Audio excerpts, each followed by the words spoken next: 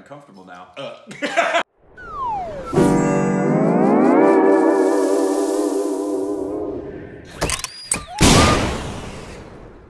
Hi, welcome back to our Stupid Reactions Idiots. I'm Korbin. I'm Rick, how you And doing? you can follow us on Instagram and Twitter for more juicy content. It's so and of course, juicy. us, Tron and follow us on Fisher Twitter account.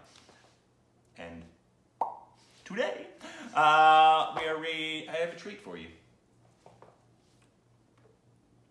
Oh, I thought it was like a literal, literal treat. Oh,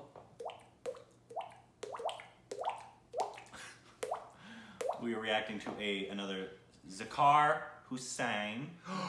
the singer. No, tabla player. Oh, the tabla player. That's right. Sorry, my a bad. legendary tabla player. Yes, And he's playing with Rakesh Chaurasia. Who is one of the flute things. Sweet. that we Yes, of course. This is Zakir Hussain is the tabla guy Yeah. that blew our mind and Yeah. is like the greatest. He is the instrument. Yes. And then someone then- playing a flute, Uh, well, I, yeah, a wind instrument of some kind. I don't know what the instrument we'll be introduced called, to. Yeah, of course. Beautiful. Uh, oh, yes, yes, yes, yes. I've yes, seen yes, it yes. in some videos, and I want to explore because we've explored other instruments, but uh, we haven't explored the wind instruments yet. Right. Uh, so I wanted to do that. Uh, so uh, I'm sure this is amazing because it's Zakar, Yep. Zakir, Zakir.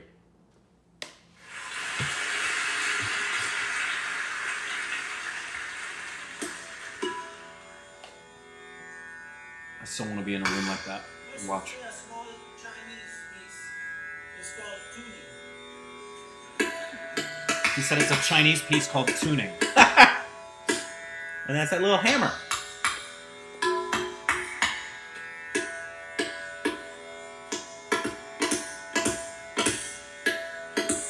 Wonderful to see. I've never seen someone tune their, their tabla like that. I've never seen anybody tune their tablet. Yeah, I don't, that's what I meant. That sounds perverted too. Tune, tune your tablet.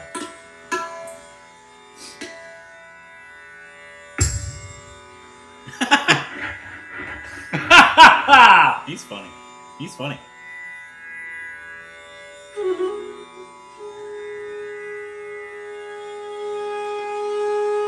What's going on with it?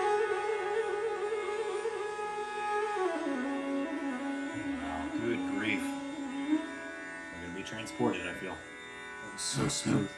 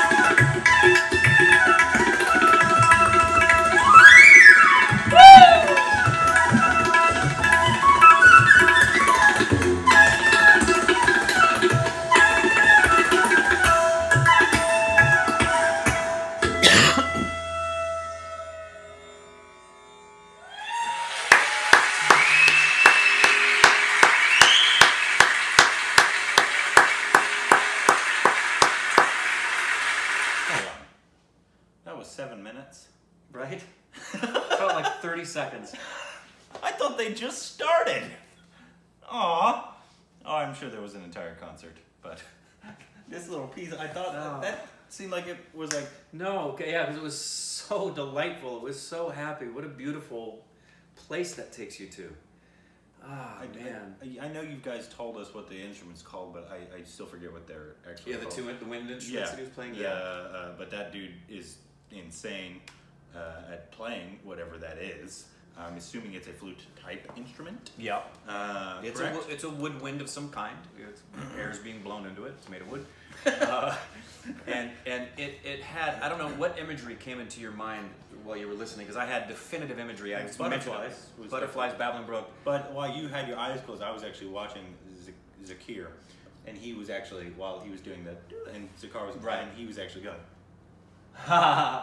yeah. So he was doing that whole thing. so- Yeah, it very much had me. There's there's movements within symphonies and entire symphonies that are what they call pastoral, and the pastoral movements or the pastoral symphonies are ones that, like the word, it's like a pasture.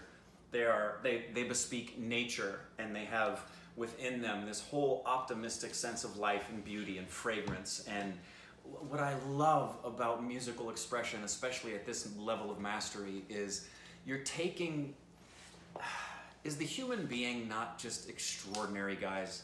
You Some think of them. The, the human being, those instruments were created by human beings, and they're using these particular definitive constructs that are, to the untrained hand and mouth, are simply these hard things that will not create anything of beauty.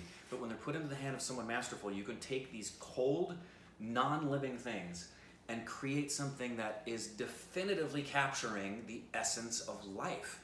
I mean, that, that musical expression, his playing on the tabla sounded like water running over rocks, and his wind instrument was the butterflies flitting. And I could see this, this meadow with a stream and flowers and grass and sky and life and peace and tranquility, all from just these two men playing these inanimate objects. Yeah. It's just unbelievable. The guy playing the flute, he was incredible. But Oh. we've seen what three videos so far of Zakir, Yeah. and you'd think we'd be like, we would have been like, oh yeah, that's him. I was, I was still just as impressed each Yeah. time as I as I was the time before. One hundred And percent. And it's something completely different. He Yep. shows me something different every single time that I've never ever seen before. Yeah. Uh, and th- th- I'm still amazed that he could just do this with his fingers. Yep.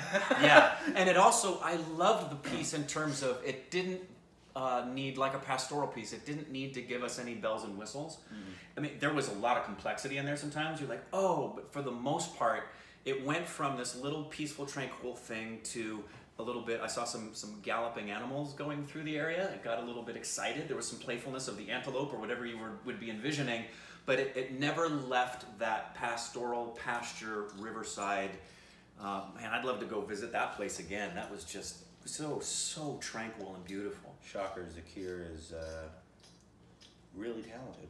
Yeah, it's just it's this. There was that moment they showed uh, him playing his the, the whatever that instrument is called, and it was really close to him, and he was playing some intricacies, but you could see in his eyes he was fixating on where he was going creatively, and that was a beautiful moment to see the artistry coming through his eyes Great as that they listening. almost don't have to think either. They yeah, they don't. Like especially kid, he you he, you don't see thinking at all. No. You just see this is this is what's gonna happen.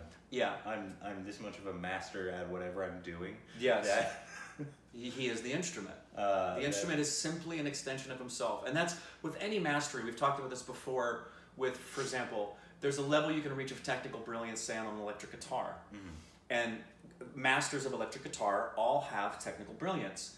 But what adds the next level is you hear them through the technicality. They become one with the instrument. So when you're listening, I use this comparison all the time. When you listen to Eddie Van Halen play the electric guitar, and it's not just the sound pads that they choose, it's the technicality. I've always been impressed with Eddie's precision and his, his technical brilliance. But when I listen to Stevie Ray Vaughan play, Yeah. there's something about the man's soul that I feel. And I am emotionally changed listening to Stevie Ray Vaughan play.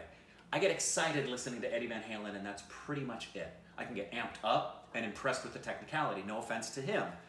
When I listen to Stevie Ray Vaughan play, I feel the guy. Yeah. And I feel these guys. I totally feel I would these love guys. to see this guy in concert. Oh, oh, Both of them. oh. Oh, yeah, be to spend to spend an hour or ninety minutes just that felt like in two- the room. two seconds. I know.